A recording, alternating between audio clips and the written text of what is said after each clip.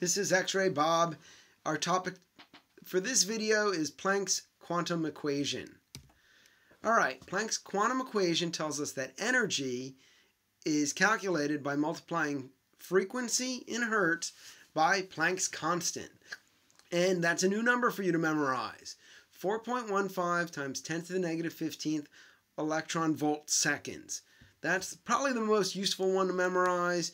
The other format sometimes useful is 6.63 times 10 to the negative 34th joule seconds. All right, so this tells us that we can calculate that the energy of a photon given the frequency of, of the photon um, because the energy of the photon is directly proportional to its frequency. Now, you remember that from the wave equation, uh, we can say that frequency equals the speed of light divided by wavelength for any electromagnetic wave. So rather than talking about Planck's quantum equation as energy equals Planck's constant times frequency, we can turn it around and say energy equals speed of light times Planck's constant divided by wavelength. So we can calculate the energy given a, given a wavelength or given a frequency. So that leads us to this triangle of formulas. Energy equals frequency times uh, Planck's constant. If we have a frequency or energy equals speed of light times Planck's constant over wavelength. And if we have a wavelength, we can always calculate the frequency. And if we have the frequency, we can always calculate the wavelength. So let's do a problem. What is the frequency of an 85 keV X-ray? Our given is the energy is 85 keV. What we're going to solve for is the frequency. So we're going to do the math. We'll need a formula. We come in here, we say, all right, I got frequency and I want energy. So I'll pick this formula. So energy equals Planck's constant times frequency. And we're going to need to know Planck's constant. And it's either one of these two, but again, let's look at the problem. The problem's talking about keV. So we better pick Planck's constant with E electron volts because units are oh so important. All right, so we write down Planck's constant, we write down our formula. We're halfway there. So now with a little algebra, we can flip that formula around to say frequency equals energy divided by Planck's constant.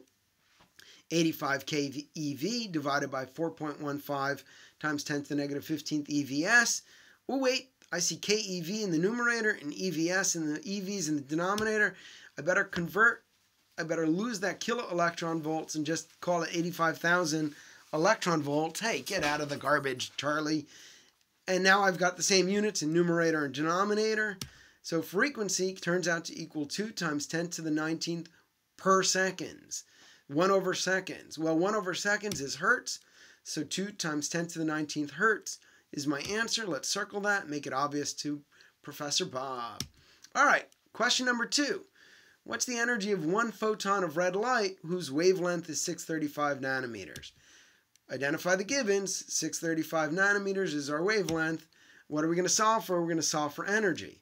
So to do the math, we'll need a formula. So in this case, we've got wavelength and we're solving for energy.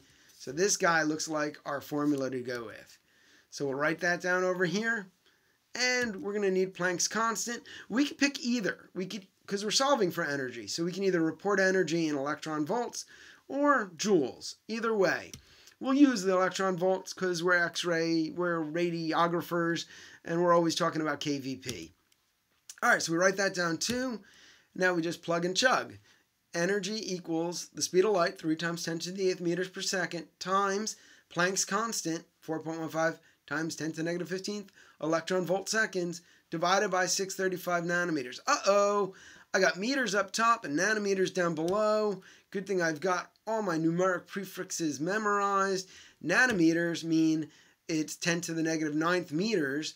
So there's a 10 to the 9th nanometers in one meter, a billion nanometers in one meter. So I got this conversion factor, 10 to the negative ninth meters in one nanometer, so that my nanometers will drop out, and I can just be talking about meters in the numerator and the denominator, so I won't have a units problem. And that comes out to be 1.96 electron volts. Better circle it, make it obvious. All right, question three. Question three looks harder, but it's actually easier, so stick with me. All right, Planck's constant times the speed of light is 12.4 when you're solving for wavelength in angstroms from energy in kilovolts. If the shortest wavelength in an X-ray beam is 0.11 angstroms, what is the kVp of this X-ray beam? We haven't gotten there yet, but kVp is the maximum kilovoltage, and you're going to see that with the minimum wavelength. Because again, frequency and wavelength are inversely related. Okay, so we'll identify our givens. Wavelength is 0.11 angstroms. And what are we solving for? Energy. So we'll go figure out our equation. We better take that energy one with that's got wavelength in it. And we're going to need to know what an angstrom is. So an angstrom is often shown as this unit, a little a with a little circle on it, and that's 10 to the negative 10th meters.